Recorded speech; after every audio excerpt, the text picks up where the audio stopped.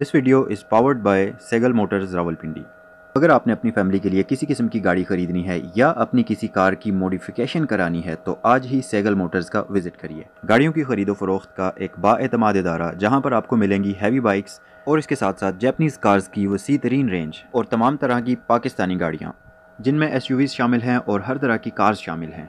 और German cars में भी सब तरह की वैरायटीज़ यहाँ पर मौजूद हैं। और इसके अलावा अगर आपको किसी भी किस्म की इम्पोर्टेड गाड़ी चाहिए तो वो आपको यहाँ पर सेगल मोटर्स पर मिल सकती है। एड्रेस और फ़ोन नंबर्स आपको स्क्रीन पर दिए गए हैं। Aslam and welcome back to the channel everyone आज की इस वीडियो में मैं आपको 2007 मॉडल टोयोटा एक्जियो करोला का रिव्यू दूँगा। ये बेसिकली जी एडिशन है और 2007 का मॉडल है और 2012 की इंपोर्ट है। और ये गाड़ी जो आपके सामने इस वक्त स्क्रीन पर मौजूद है, ये पुश स्टार्ट वाला वेरिएंट है। तो आज की इस वीडियो में आपको इस गाड़ी का डिटेल रिव्यू दिया जाएगा, आपको इसका एक्सटीरियर और इंटीरियर दिखाया जाएगा। और अगर आप अपनी किसी गाड़ी का मेरे चैनल पर रिव्यू कराना चाहते हैं या अपने किसी ब्रांड को प्रमोट कराना चाहते हैं तो उसके लिए आपको डिस्क्रिप्शन बॉक्स में लिंक दिया गया है। वहाँ पर जाइए, आसान सा फॉर्म फिल करिए और मैं आपको खुद कॉल करूँगा।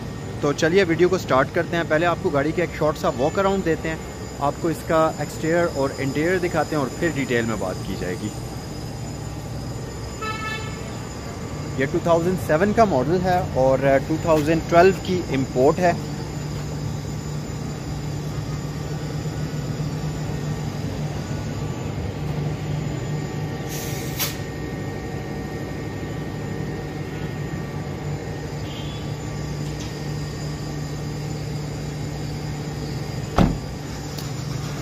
सो so जी एक्सटीरियर और इंटीरियर आप इस गाड़ी का देख लीजिए। शॉर्ट सा वॉक अराउंड पहले आपको देते हैं और फिर तमाम तर चीज़ों के बारे में आपको तफसील से इन्फॉर्म किया जाएगा।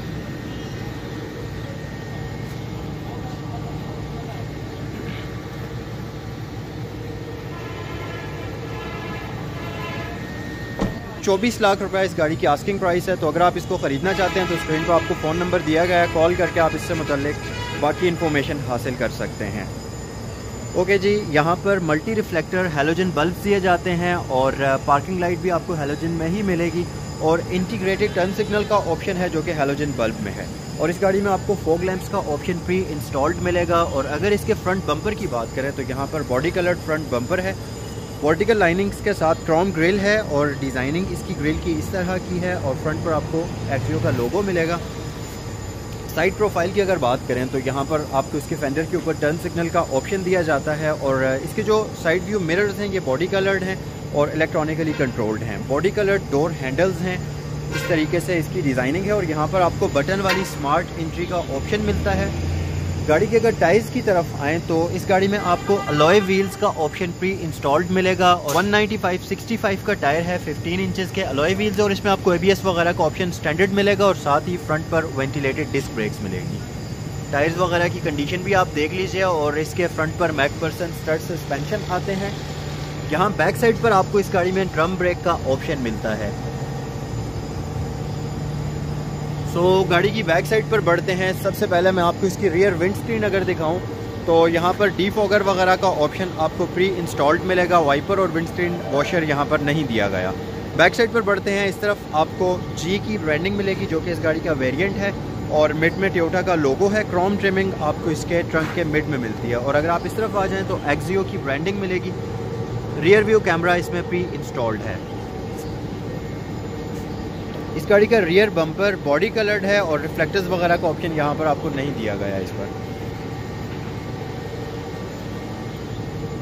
सो so इस गाड़ी के इंटीरियर की तरफ़ आते हैं। सबसे पहले मैं आपको इसका ड्राइवर डोर दिखाना चाहूँगा। यहाँ पर अगर आप देखें तो फैब्रिक और प्लास्टिक के कॉम्बिनेशन में इसके डोर की डिज़ाइनिंग है और सिंपल प्लास्टिक का डोर लैच आपको इस तरीके से मिलेगा। विंडोज़ को अप एंड डाउन करने के बटन हैं और तमाम विंडोज़ इसमें आपको ऑटो मिलेंगी। यहाँ पर सेंट्रल लॉकिंग सिस्टम है और विंडोज़ को लॉक करने के लिए बटन दिया गया है। और यहाँ पर इसके डोर के ऊपर एक स्पीकर और स्टोरेज कंपार्टमेंट का ऑप्शन है। इसमें आपको two way adjustable four spoke power steering wheel दिया जाता है, जो कि ड्यूल कलर टोन में डिज़ाइन किया गया है। और यहाँ पर अगर आप देखें तो आपको मल्टीमीडिया कंट्रोल्स और वॉइस कंट्रोल्स के ऑप्शंस मिलेंगे। एयरबैग का ऑप्शन आपको यहाँ पर प्री इंस्टॉल्ड मिल जाएगा। उसके अलावा अगर राइट साइड पर आ जाएँ तो एक एवेंट मौजूद है। ये इसके डी फॉगर के लिए होता है एवेंट और नीचे अगर आप आ जाएँ तो इसमें साइड व्यू मिरर्स के कंट्रोल्स हैं और इसमें आपको auto retractable side view mirrors दिए जाते हैं।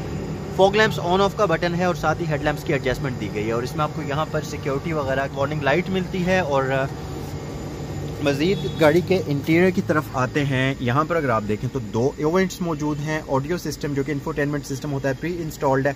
और ये तमाम ऑप्शन हैं इसकी। उसके अलावा नीचे अगर आ जाएँ तो इसमें आपको डिजिटल क्लाइमेट कंट्रोल मिलेगा, जो कि ड्यूल जोन नहीं होता सिंपल आपको डिजिटल क्लाइमेट कंट्रोल का ऑप्शन इसमें दिया जाता है। और यहाँ नीचे अगर आप आ जाएँ तो इसमें आपको एक स्टोरेज कंपार्टमेंट मिलता है जिसके अंदर आपको सिगरेट लाइटर और एश ट्रैक ऑप्शन मिलेगा। तो गाइज़ ये गाड़ी ऑटोमेटिक ट्रांसमिशन के साथ आती है। इसकी पूरे कंसोल की जो आउटलाइनिंग है, ये क्रॉम में की गई है। मैनुअली कंट्रोल्ड पार्किंग ब्रेक है और कप होल्डर्स का ऑप्शन यहाँ पर आपको मिलता है। उसके अलावा अगर आप यहाँ देखेंगे तो ये एडजस्टेबल आर्म रेस्ट इसमें आपको दी जाती है। उसके नीचे भी एक स्टोरेज कंपार्टमेंट है। तो मज़ीद इंटीरियर की तरफ़ आते हैं। इस गाड़ी में, इसका जो डैशबोर्ड है, ये ड्यूल कलर टोन में डिज़ाइन किया गया है लाइट और डार्क ग्रे के कॉम्बिनेशन में।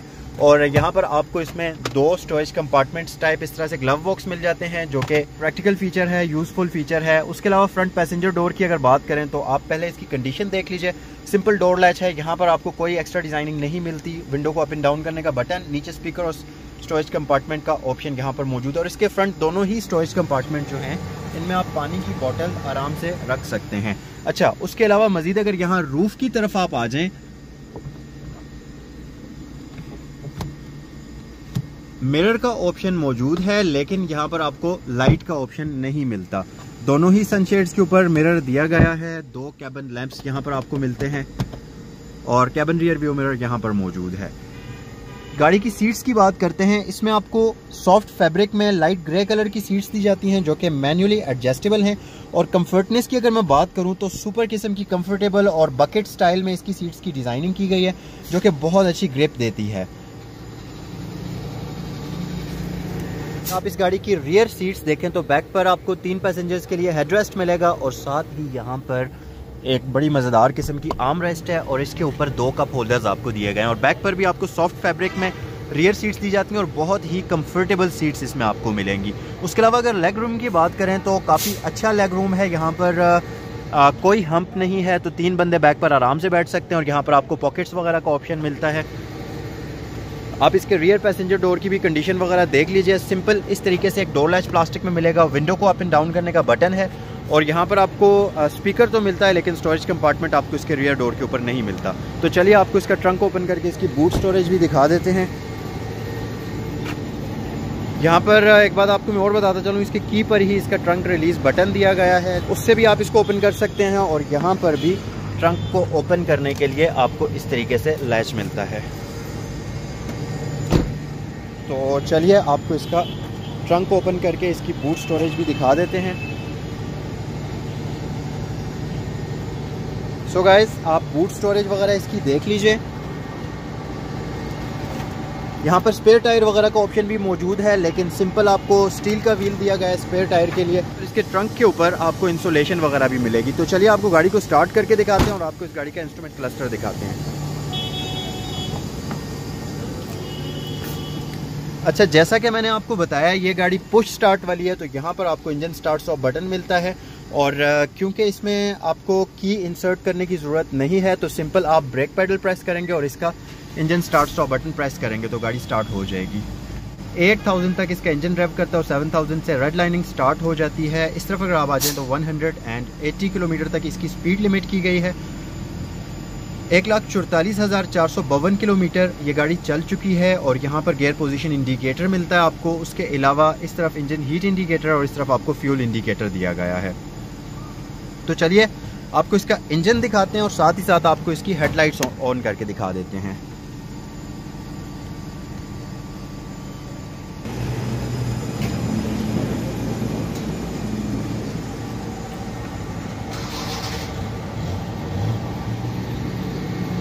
सो गाइज़ आप इसकी लाइट्स वगैरह भी देख लीजिए। तो अब आपको लेकर चलते हैं इस गाड़ी के इंजन की तरफ़। आप इसका इंजन भी देख लीजिए। यहाँ पर 1300 CC inline four cylinder petrol engine है और इंजन की कंडीशन वगैरह भी आप देख लीजिए। ये टोटा करोला एक्जियो का जी वेरिएंट है जो कि पुश स्टार्ट वेरिएंट होता है और यहाँ पर 1300 CC inline four cylinder petrol engine इसमें आपको दिया जाता है। प्राइस आपको मैं एक बार फिर इसकी बता दूँ। चौबीस लाख रुपए इस गाड़ी की आस्किंग प्राइस है तो अगर आप इस गाड़ी को ख़रीदना चाहते हैं तो स्क्रीन पर आपको फ़ोन नंबर दिया गया है। कॉल करके आप इससे मुतालिक बाकी इन्फॉर्मेशन हासिल कर सकते हैं। तो गाइज़ ये था आज का Toyota Corolla Axio 2007 model G edition का डिटेल रिव्यू आई होप कि आपको आज की ये वीडियो पसंद आई होगी। और इस गाड़ी के बारे में आप क्या सोच रहे हैं कमेंट सेक्शन में अपनी राय से ज़रूर आगाह करें। चैनल पर नए हैं तो चैनल को सब्सक्राइब करना मत भूलें। बेल आइकन प्रेस कर लें ताकि आने वाली लेटेस्ट नोटिफिकेशन आप तक पहुँचती रहें। और मुझे नेक्स्ट वीडियो तक इजाज़त दीजिए। अल्लाह हाफिज़।